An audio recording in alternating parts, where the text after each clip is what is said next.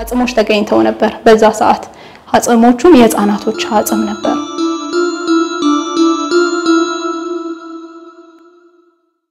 ከሆነ አመታቶች በፊት እህተ ማርያም ወይ ደግሞ ትዕግስት ወደ እንግሊዝ ሀገር ስደት ሄዳ ነበረ። ከዛ እንግሊዝ ሀገር ቆይታ ጊዜ አንድ የእርዳታ ድርጅት ውስጥ መስራት ትጀምራለች። ይህ እርዳታ ድርጅት ያንን ለማገዝ ኢትዮጵያ ውስጥ ትመጣለች።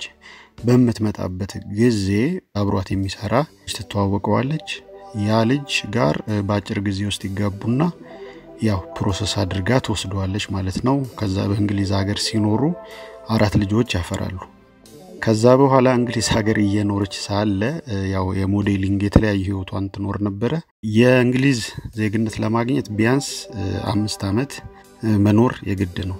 ከአምስት ዓመት በላይ ኖራለች እንግሊዝ ሀገር ማለት ነው። በአጭሩ ስትኖር ዜግነቷን ቀይራለች፣ ኢትዮጵያዊነቷን ቀይራለች፣ እንግሊዛዊ ትሆናለች። እንግሊዝ ሀገር ነው እንግዲህ መንፈስ የታያት ኢትዮጵያ ውስጥ ሳይሆን እንግሊዝ ሀገር።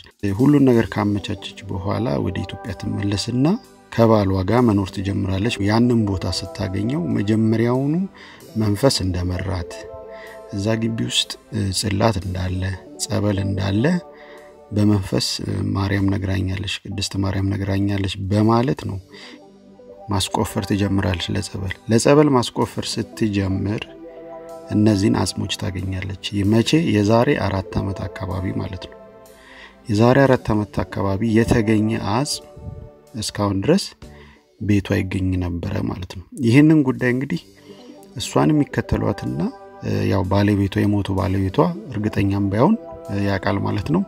የተለያዩ ነገሮች ይባላሉ ከባለቤቷ ጋር ተያይዞ እሷ እንዳስገደለችው የተለያየ ነገሮች አሉ። ያልተጣሩ ነገሮች ናቸው። ምናልባት ይሄ ሚስጥርም ሊሆን ይችላል። ይህ አጽም እስከ ዛሬ ድረስ ትላንትና ፖሊስ እስከሚወስደው ድረስ ቤቷ ይገኝ ነበር። የህፃናት አጽሞች እንግዲህ የህፃናት አጽም እንደው እሷ እንደምትለው ታሪካዊ ቦታ እንኳ ቢሆን ምን ያደርጋል እዛ ጋር እሷ እንደምትለው ከመሐመድ ግራኝ ጀምሮ መሐመድ ግራኝ የተለያዩ ቤተክርስቲያኗን ያጠቃ ስለነበረ የተደበቁ አባቶች ነበሩ ነው የምትለው።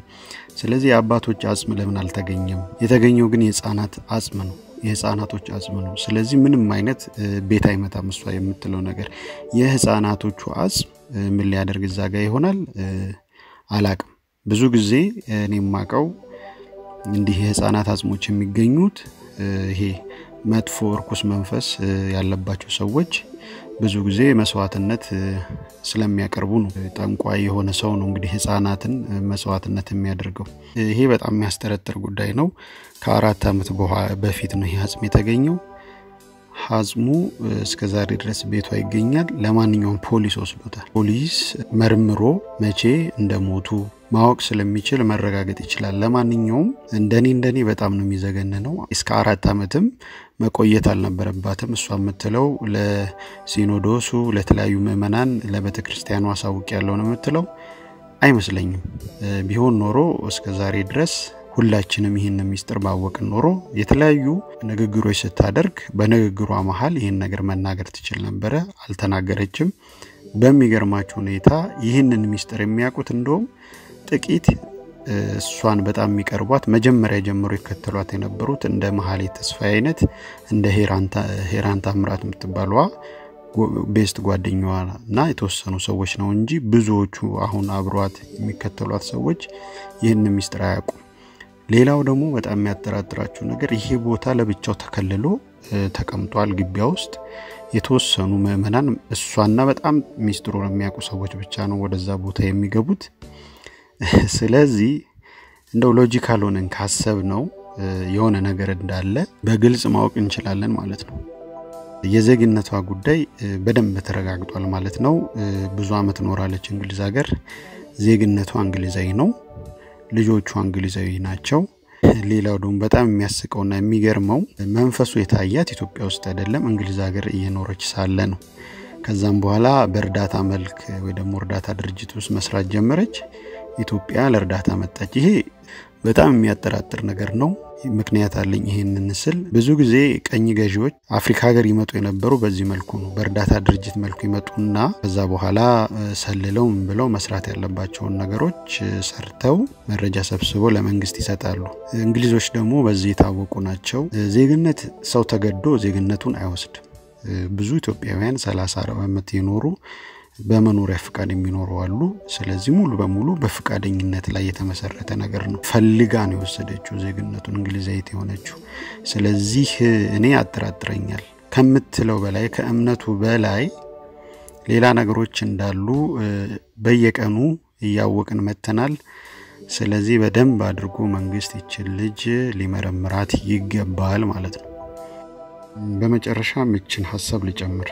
ከዛሬ ሶስት ወይ አራት ዓመት በፊት ኢትዮጵያ ከመጠቅልላ ከመግባቷ በፊት አቡነ ማትያስን መታ ዝቅ ከፍ አድርጋ ተናግራ እንደሄደች አንቱ የሚባሉትን በስማቸው እንኳን አክብራ ሳትጠራ ማርያም ናት፣ ቅድስት ማርያም ናት እንደዚህ በይ ያለችም በማለት አቡነ ማትያስን እንደዛ ብላ ተናግራ ሂዳ ነበር። ስለዚህ ከኢትዮጵያ ኦርቶዶክስ ቤተክርስቲያን ጋር ከመምጣቷን በፊት ይችልች ጥል ነበረች ማለት ነው። ጥል ከነበረች ደግሞ ይዛው የመጣችው ዓላማ ግልጽና ግልጽ ነው። ቤተክርስቲያኗን በቻለችው መጠን ማድከም፣ ማፍረስ ለማፍረስ ደግሞ የተለያዩ ዘዴዎች ተጠቅማለች። የመጀመሪያው ዘዴ የመሰረተችው ሃይማኖት ርትዕት ተዋሕዶ የሚባለው ሃይማኖት ከኢትዮጵያ ኦርቶዶክስ ጋር አንድ እንደሆነ እዚህ ጋር እንደተጠነቀቁ ፈልጋለሁ።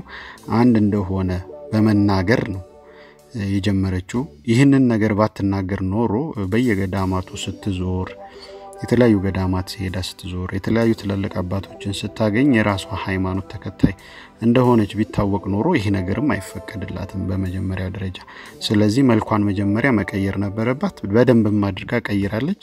ቀይራም ነው ስለቀየረችም በየገዳማቱ ስትሄድ የኢትዮጵያ ኦርቶዶክስ ቤተክርስቲያን አማኝ እንደሆነች ስላወቁ ነው አንጥፎ የተቀበሏት። ለረጅም ሰዓትም ሳይጠረጥሯት የቀሩት የተለያዩ አባቶችን ከገዳማት አውጥታለች። ካወጣች በኋላ ነው እንግዲህ ሚስጥሩን የምትነግራቸው። ብዙዎቹ እምቢ ብለዋታል። የተወሰኑት ደግሞ እስካሁን እየተከተሏት ነው።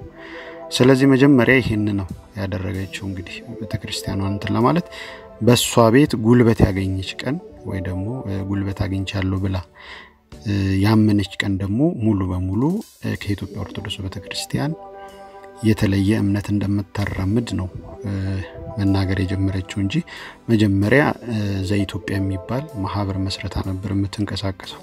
ለጉልበቱን እንዳገኘች ስታቅ ያው ተዋሕዶ ብላ የሄኖክን ካላንደር የተከተለች ብላ ብላ በባለፈው በፋሲካ ጾም አንድ ሳምንት ሲቀረው ፈስካ ለምእመናኑ አብልታለች።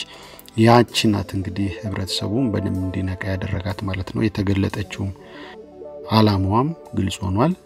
ስለዚህ እስከ ዛሬ የፈጸመቻቸው ወንጀሎች የአጽሙ ጉዳይ፣ የተለያዩ ክሶች እስከ ዛሬ ያልሰማናቸው በቅርብ ጊዜ ደግሞ ፖሊስ የሚያሰማን ክሶች ስላሉባት እሱን ክስ ደግሞ በቅርቡ ፍሬ አፍርቶ እናየዋለን ብዬ ነው ማምነው። ለማንኛውም ከዚህ በኋላ እንደ ሰላይ እንደ ሰላይ እንደ አንድ አውቆ አበድ እንድታዩት ነው የምፈልገው። እኛም ማየትም ያለብን መረዳትም ያለብን እንደዛ ነው። ቀላል ሰው አይደለችም። ይኸው ታሪኳም ያስረዳል። ስለዚህ ልጅቷን ልክ እንደ ሃይማኖት መሪ ሳይሆን እንደ አንድ ተልእኮ እንዳላት ሰላይ አድርገን ካየናት ሁሉ ነገር እየተገለጸልን ይመጣል ማለት ነው። እንግዲህ የአጽሙን ጉዳይ ፖሊስ የሚለውን ነገር እየተከታተልን እናቀርብላችኋለን። መጨረሻው ምን እንደሆነም እናቀርብላችኋለን። ለማንኛውም እናንተም በዚህ ነገር ላይ አስተያየታችሁን ብትሰጡኝ በጣም ደስ ይለኛል። እንደዚሁም ትላንትና ከዚህም በፊት በቤሩት የነበራችሁ ኢትዮጵያውያን ችግራችሁን ጠይቀን ስልክ ቁጥር የላካችሁልን አላችሁ። ባልደረቦቼ በቀጥታ ደውለው ያናግሯችኋል። በእኛ አቅም የምንችለውን ሁሉ እንደግፋችኋለን። ደስ የሚለው ብዙ ኢትዮጵያውያን ችግሮቻችሁን እያወቀ እየሰማ ስለመጣ በጣም እርግጠኛ ነኝ በቅርብ ጊዜ መፍትሄ ታገኛላችሁ ብዬ አምናለሁኝ። ጥሩ አዲስ አበቦች ነን። share በማድረግ like በማድረግ ላልሰሙ አሰሙ። እናመሰግናለን። ጊዜያችሁን ሰጥታችሁ ስላዳመጣችሁን። በጤና ቆዩን። ራሳችሁን ጠብቁ። ጤና ይስጥልኝ። ቻው